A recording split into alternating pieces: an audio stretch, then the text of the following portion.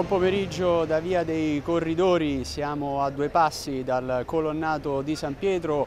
Benvenuti a Prospettive da parte di Matteo Ciofi. Iniziamo subito con l'udienza generale del mercoledì, nella quale il Santo Padre ha spiegato l'importanza ed il valore della festa.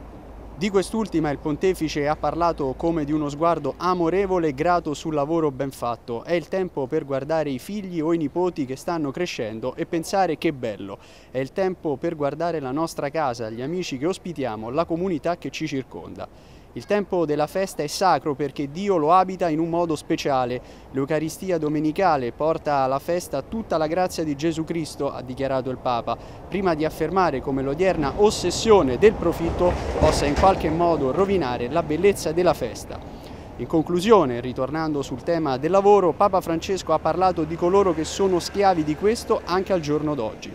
Ascoltiamo ora le parole del pontefice. E invece sappiamo che ci sono milioni di uomini e donne e addirittura bambini schiavi del lavoro. In questo tempo ci sono schiavi, eh? sono sfruttati, schiavi del lavoro. E questo è contro Dio e contro la dignità della persona umana. L'ossessione del profitto economico e l'efficientismo della tecnica mettono a rischio i ritmi umani della vita, perché la vita ha i suoi ritmi umani. Il tempo del riposo, soprattutto quello domenicale, è destinato a noi perché possiamo godere di ciò che non si produce e non si consuma, non si compra e non si vende. Dopo aver istituito la giornata mondiale per la preghiera, per la cura del creato fissata per il primo settembre, Papa Francesco martedì ha svelato il tema per la 49esima giornata mondiale della pace che verrà celebrata il primo gennaio 2016.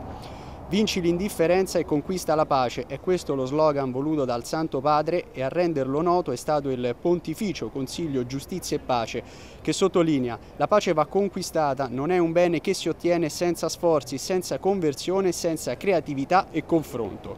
L'indifferenza del XXI secolo, si legge nel comunicato, è spesso legata a diverse forme di individualismo che producono isolamento, ignoranza, egoismo e dunque disimpegno. Il tema per la giornata mondiale della pace 2016 si lega a quello di quest'anno, non più schiavi ma fratelli, col quale Papa Francesco aveva messo a fuoco un argomento drammatico che lo addolora profondamente. Prosegue senza sosta l'ondata di migranti verso l'Italia, sono oltre 1500 quelli che sono stati soccorsi dall'inizio di questa settimana e che hanno riguardato diverse imbarcazioni nel canale di Sicilia.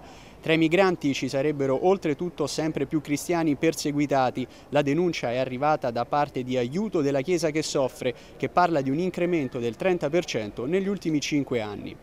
Ed è sempre notevole anche il flusso verso le coste greche, sono state infatti oltre 60 le operazioni condotte da navi elleniche per risolvere situazioni pericolose da cui sono state tratte in salvo più di 1400 persone.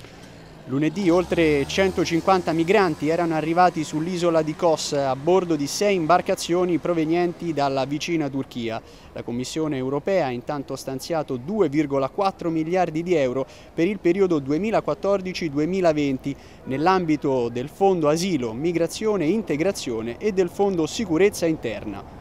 Ne beneficeranno 19 Stati membri che devono affrontare alti flussi migratori. In cima alla lista c'è l'Italia con 558 milioni e la Grecia con 474 milioni.